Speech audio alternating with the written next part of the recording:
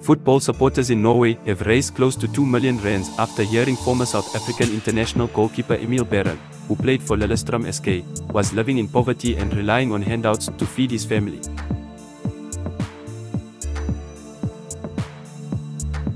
Two reports detailing Barron's heartbreaking story on the website of Norwegian channel TV2 caught the attention of supporters in the country where the former Hellenic, Kaizer Chiefs and Bidvest goalkeeper gained popularity playing for Lillestrøm from January 1999 to July 2004. Yes, at the moment almost 1.1 million kroner has been raised to help Emile Barron after Norwegian TV2 published a story about his difficult life in South Africa, Stokstad told Times Live.